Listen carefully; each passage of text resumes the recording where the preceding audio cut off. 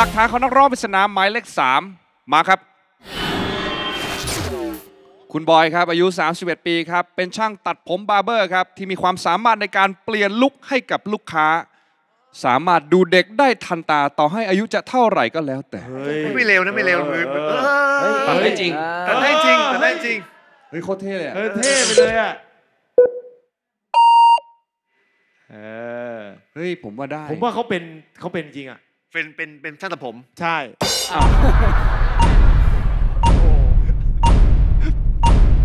เองเฮ้ยเฮ้ยเฮ้ยเฮ้ยเฮ้ยไม่เร็วนะเฮ้ยอ่าเอ้เฮ้ยย ผมว่าเพราะนะ เพราะว่าเอาตามที่เขาบอกแต่งช่างตัดผมผมว่าอันนั้นน่าจริงเพราะดูจากการกันเนอะเอออันนั้นอันนั้นน่าจะจริง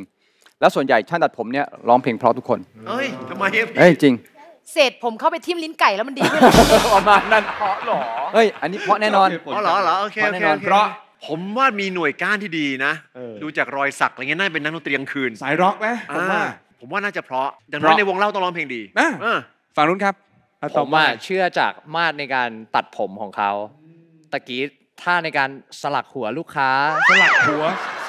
ลายไอ้นักร้องนี่มันสลักมีสลักอะไรแปลกๆเลย อันนี้ผมตัดสินใจจากภาพอาชีพของเขานะว่าครับเป็นเรื่องจริง เพราะฉะนั้นผมคิดว่าเขาเป็นคนที่ร้องเพลงเพราะครับผม ไปต่อครับ หลักฐานของนักร้องปริศนาหมายเลขสี่มาครับ คุณไข่มุกครับเฮ้ย อายุ 25 ปี ไม่ใช่สาวละช่างแอร์ เธอเป็นคนจิตใจอบอ้อมอารีครับ ชอบช่วยเหลือสุนัขที่ถูกทิ้งตามท้องถนน แล้วก็พาไปส่งให้กับที่รับเลี้ยงสุนัขนะครับ อ๋อไปตามที่ใช่ต่างๆ ที่เขารับเลี้ยงครับ อ๋อ โอ้ยน่ารักน่ารัก สาธุสาธุ เอออุ้ยเต้นอุ้ย ล็อกแรกล็อกแรก บัตบัสคือดูแปลกเนาะในการที่จะขยับตัวตลอดเวลา แต่ว่ามันเป็นการขยับตัวที่พอมาดูจังหวะของการลากเสียงของเขาแล้วอะอ้นดูว่าเขาสามารถที่เขาจะมีจังหวะของการลากเสียง แล้วก็มีช่วงจังหวะของการหายใจ แต่ว่ามันดูขัดกันไปหมดเลยอะน่าจะเป็นเรื่องของสายตาเขามั้งคะสายตาเขาที่ที่ที่ดูอืมไม่มีความสุขในการร้องเพลงอะเออ จากสาม หมายแรกๆอ้วนก็ว่าเพราะมาโดยตลอดอ้วนคิดว่าน่าจะเริ่มเพี้ยนแล้วล่ะค่ะหคมายนเลขนี้สี่เพี้ยนนะครับค่ะ ผมว่าเออด้วยบุคลิกท่าทางจากยิ่งได้ได้เห็นในวิดีโอแล้วเนี่ย ผมว่าไม่น่าจะเป็นไม่น่าจะเป็นช่างแอร์อะอืมถ้าเกิดว่าเป็นเซลล์ขายตู้เย็นให้กับพี่สแตมป์ที่ไปซื้อให้น้องคนนั้นก็อาจจะเป็นไปได้มึงจะเล่นกูเลยเนี่ยพี่ก้าวเช้าไหนออกจากบ้านในวันเนี้ยผมว่าเขาเป็นนักร้องเสียงเพี้ยนครับผมข้อมูลปลอมเพราะฉะนั้นคนนี้ใช่เสียงเพี้ยนครับใช่นี่พี่แต้มครับ จากที่ผมซื้อตู้เย็นมาเยอะเล่นเพลงทำไมเนี่ยเจ็บน้อยหน่อยเจ็บน้อยหน่อยผมดูจากวิธีอาร์ครัที่บเขาร้องรู้สึกแบบ มันเลิกลักเลิกลักอะมันดูแบบสายตาไหมล็อกแรกล็กแรกคือถ้าไม่แกล้งแปลว่าเขาน่าไม่ไม่ไม่น่าจะชินกับการร้องเพลงครับเออแล้วคิดว่าน่าจะเพี้ยนครับหลักฐานของนักร้องปริศนาหมายเลขห้ามาครับหน้าเด็กมากครับ คุณยีนอายุ 35 ปีครับพระเอกหนังรูปหล่อนะครับ แต่ชอบสะสมพระเครื่องครับ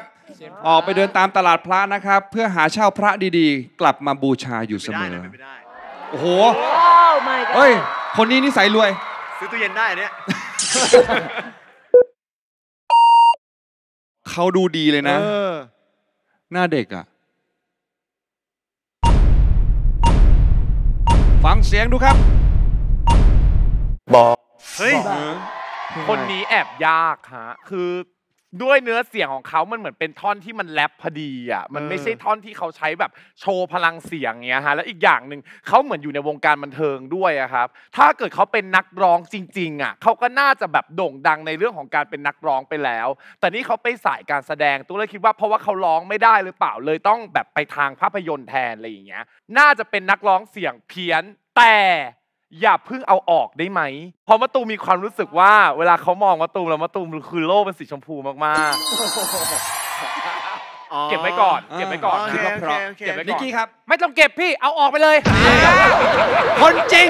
เอาออกไปเลย น้องพี่คือคนจริง คือรายการเขารู้ว่าพี่มะตูมมาชอบแบบไหน นี่ ชอบแบบนี้มาก็เพื่อยั่วไอ้พี่มะตูมเนี่ยเก็บไว้ก่อน แต่ผู้ชายอย่างเราเนี่ยยังไงก็ไปเอาเขามาฟีดอยู่แล้ว นี่ เอาออกไปเลยจะมาไงน่าจะเพราะนะ นี่พี่แจมมีวิสัยทัศน์ เห็นปะล่ะ มันแบบดูเป็นคนในวงการบันเทิงเนี่ยมันน่าจะมีมีมาตรมีแบบมีมาดมีแบบการ appearance บนเวทีอะมันดูแบบมันดูมีพลังอะเขาน่าจะเป็นคนที่เจนเวทีมากเลยนะฮะ แล้วเมื่อกี้ที่โผล่มาเพลงเสียงต่ำๆก็ไม่แย่นะไม่แย่ไม่แย่คิดว่าเพราะครับ คืออยากถามนิกกี้มากว่าตะโกนทำไมวะ บ้านมันอยู่ติดหาด คนใต้ครับเสียงดังครับคนใต้ หน่วยก้านดีครับ ในการ eye contact กับกล้องเมื่อกี้ แล้วก็วิธีการเรียกว่าสื่อสารอารมณ์เพลงเนี่ย ผมว่ามีแวว เดี๋ยวพี่มะตูมจะไม่มีใคร support ครับผมโอ้ยเก็บคนนี้ไว้แล้วกันฮะเพราะครับผมเก็บไว้ให้เสียงเพราะนะครับ หลักฐานของนักร้องปริศนาหมายเลข 6 มาครับ คุณเอมี่ครับ อายุ 18 ปี เป็นนางแบบสาวสวยครับ ถูกเฮ้ยสอนให้เรียนการเต้นบัลเล่ต์มาตั้งแต่เด็กโอ้ นอกจากนั้นยังมีดีกรีเป็นนักบัลเล่ต์ของมหาวิทยาลัยอีกด้วย เฮ้ยแต่เขาดูหน่วยก้านดีนะเฮ้ยสวยเลยอะสวยเลยอะเป็นนาแบบดาราก็เป็นนักบัลเล่ต์จริงๆอะสวยมากน่ารักมาก แต่พอโตๆแล้วบัลเล่ต์มันก็ไม่ค่อยได้แล้วไม่แล้วนะหน้าสดใช่ไหมคือสวยไม่ค่อยได้ากสวไม่ได้เลยแข่งนะหน้าสดสวยมาก เออเขาดูแบบเหมาะกับการเล่นบัลเล่ต์ยิมนาสติกอะไรเงี้ยนะ ฟังโปรดโปรด โปรดโปรอะดผมให้นิกกี้คนิรับ กกี้ก่อนเลยนี่เอาออกหรือไม่เอาออกบอกแค่นี้เพราะมาก เฮ้ยนี่ ผมไม่รู้นะ พี่นะ ผมไม่ได้ก้าวร้าวนะ ถ้าพี่เอาออกนะ ผมต่อยพี่พี่นะผมไม่ได้ก้าวร้าวนะผมต่อยพี่เองใจเย็น ต่อยเลยนี่พี่ชายพี่เองไม่สนแล้วเออไม่สนพี่สนไม่น้สองนแล้ว ผมว่าเพราะเพี้ยนไม่สำคัญสำหรับพี่อะนี่แต่อยากรู้ว่าน้องเอมมี่มีตู้เย็นหรือยัง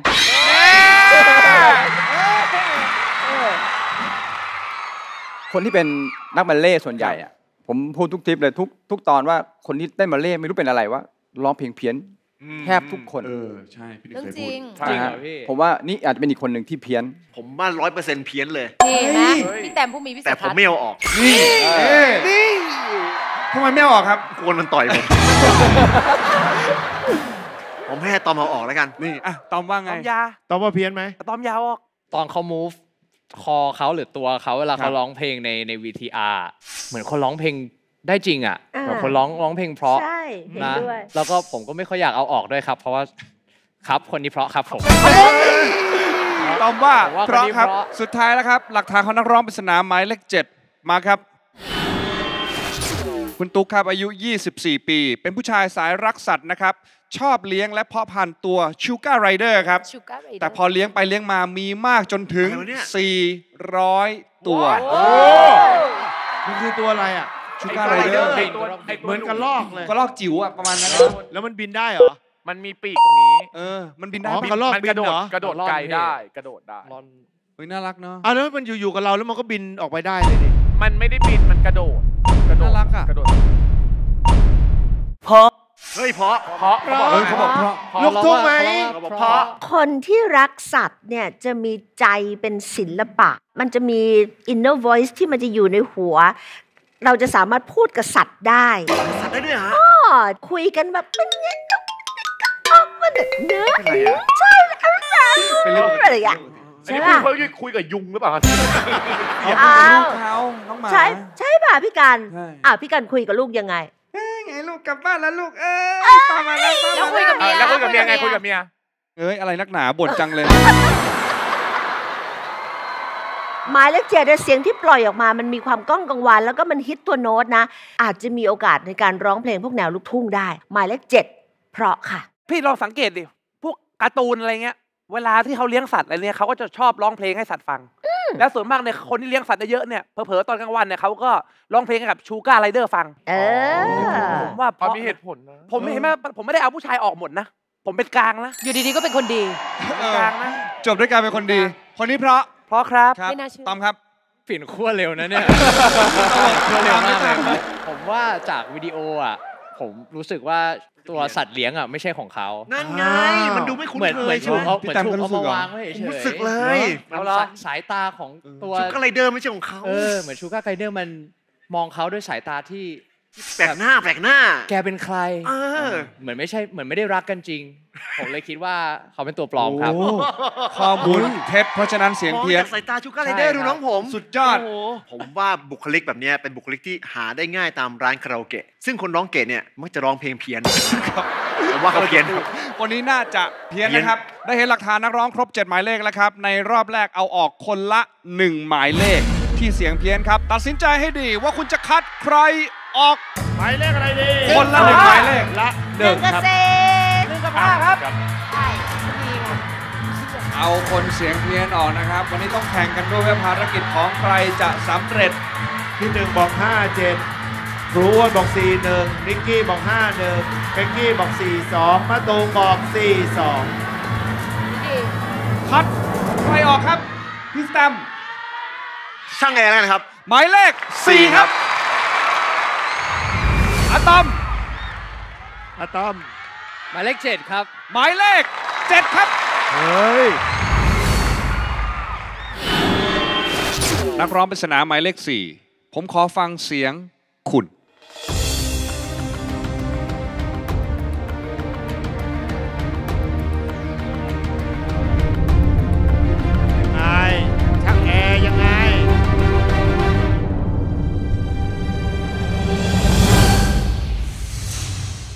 อยู่ตรงไหนแล้วมันอึดอัด ไม่ใช่ลดน้ำหนัก แต่ต้องเดินออกมา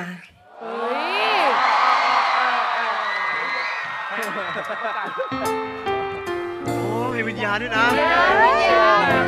อายแล้วกันอาย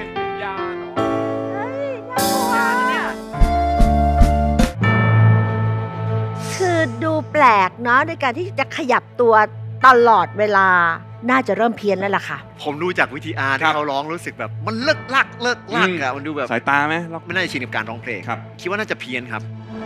วิญญาณเหรอเฮ้ยน่ากลัว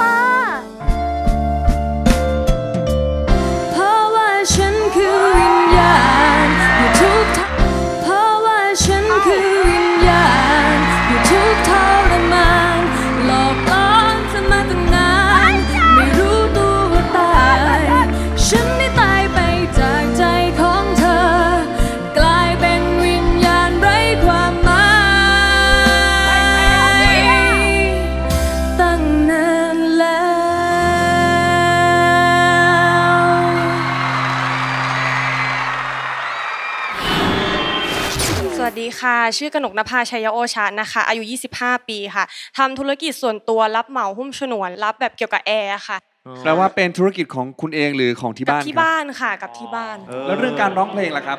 ก็ชอบการร้องเพลงตั้งแต่เด็กอะค่ะ แล้วก็ครับฝึกร้องเพลงเองค่ะ ซึ่งจริง ๆ คุณไม่ได้เป็นนักร้องใช่ไหมใช่ค่ะไม่ได้เป็นเลยอ๋อค่ะไม่ได้เป็นนักร้องเขาคือแค่ร้องเพลงเพราะใช่ค่ะเอออ่าก็เป็นกิจการของที่บ้านแล้วทำได้ด้วยใช่ร้องเพลงดีด้วยครับ นักร้องปริศนาหมายเลข4เป็นนักร้องเสียงร้องขอบคุณครับนักร้องปริศนาหมายเลข7ผมขอฟังเสียงคุณ หน้าตาไม่โดดเด่นเลยถูกทิ้งเล่นให้โดดเดี่ยวสามเลยใช่ใช่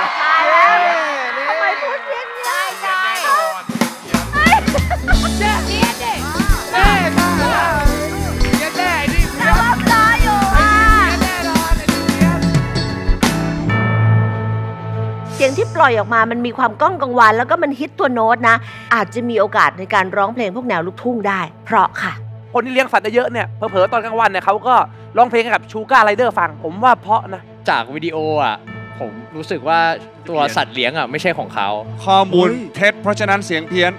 ใช่ครับ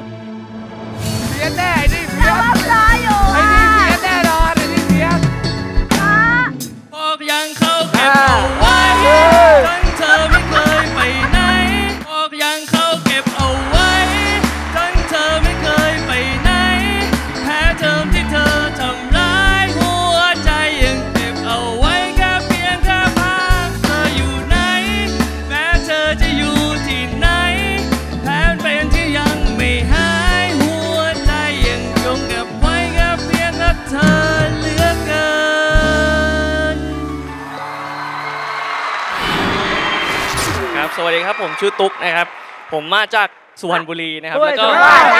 นี่เนอะจริงแล้วเฉียวทำไมเนอะเออ มาจากสุพรรณสำเนียงออกเลยอะ เออนะครับผมก็เลี้ยงชูก้าเป็นฟาร์มเองครับ มีประมาณจริง 200 ตัว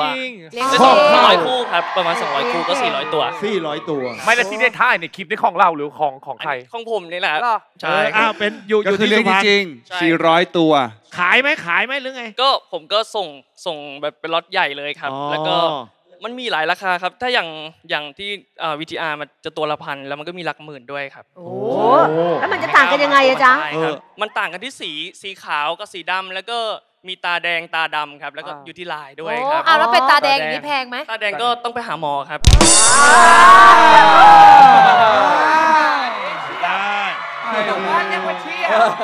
นักร้องปริศนาหมายเลขเจ็ดเป็นนักร้องเสียงเทียนขอบคุณมากครับ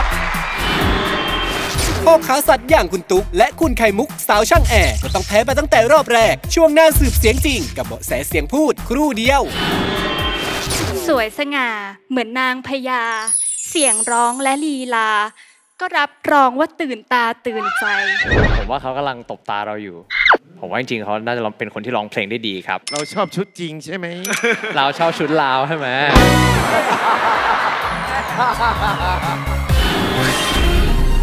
I can see your voice